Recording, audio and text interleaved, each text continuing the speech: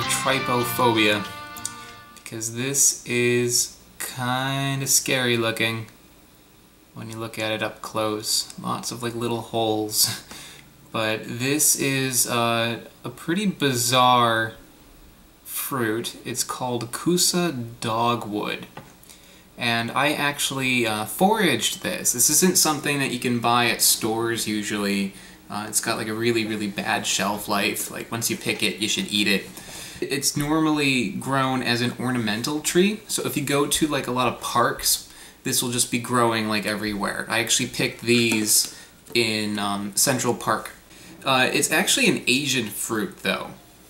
If you go to Japan um, or like China, people will uh, pick these and will will eat them. It's like a normal normal thing. You might find like a few vendors selling it, but it's usually just something that people will come across and just like pick off and eat. The flavor of these fruits varies quite a lot tree by tree. So if you are foraging for them, it's kind of recommended that you pick one and you try it. And if it tastes good, that's a good tree, but sometimes it tastes like really bitter and acrid, so you don't want you don't want those.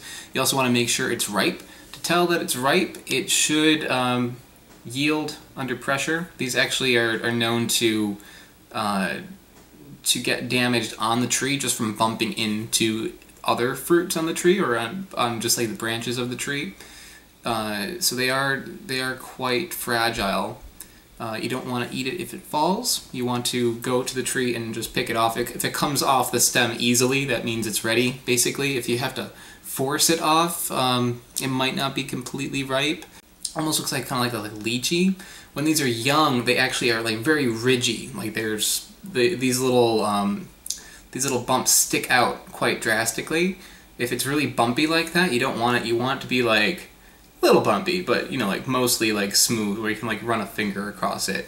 You can eat the skin, but it's not supposed to be very good. So most people will just like break it open and eat the eat the inside. So I'll do that first, but I'll try the skin as well just to see what it tastes like. So I'm just gonna break this open. It comes apart pretty easily. Inside is kind of like custardy, and I don't know if you can see it, but there's quite a lot of seeds there. Uh, I heard that each one of these little little holes there is actually um, for seed. I don't actually don't know if that's true. It doesn't seem like there's that many seeds in here, but I heard that somewhere. Uh, it comes out pretty easily, just like that. It's basically just mush.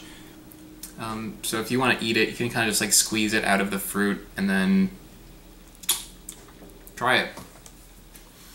Hmm.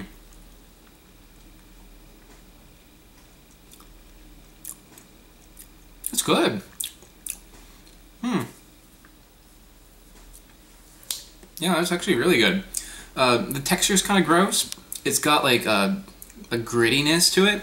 Uh, I think towards the the skin is where it's sandy. So if you just like suck out the middle and don't really go digging around like for the last little bits of fruit, um, that would be pretty good. It tastes like a little bit like like a very mild, like apricot.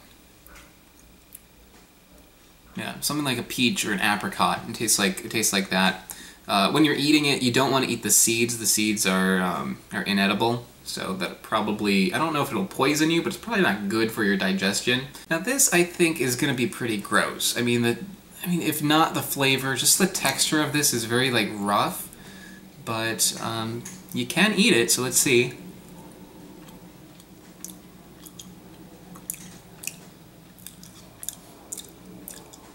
Ah.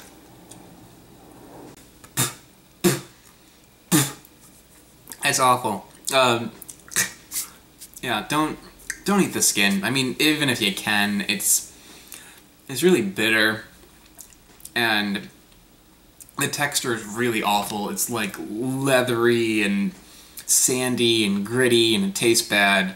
Let me try this one that is. It doesn't seem like it's completely ripe, just to see if it's okay.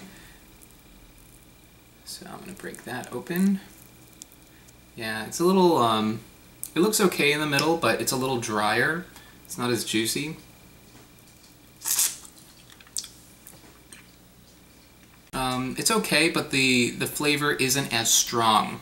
So I think you can eat it, but I mean, if you can get like the ones that are just like bright, dark, or that are like this kind of red, red, like this very like dark red compared to like one that has like some yellow to it, uh, go for this. So yeah, that is Kousa dogwood. It's a very interesting fruit. It's It looks really weird. If you got trypophobia, you might want to avoid it. But otherwise, try it out. It's got a real nice, uh, real nice flavor, decent texture. Avoid the, the skin and the, the flesh near the skin, and you'll be okay.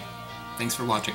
Hey guys, don't click out on the window just yet, okay? Listen to me for one second. I just want to take a quick moment and tell you about my Patreon page that I just started.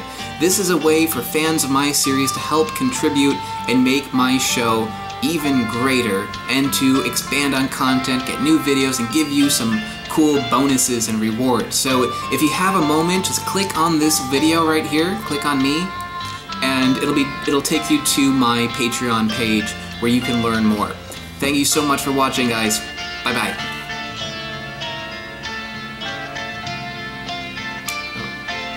I, I, made this video too long.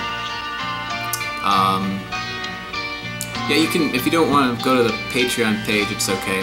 Um, you can also click on one of these fruit videos.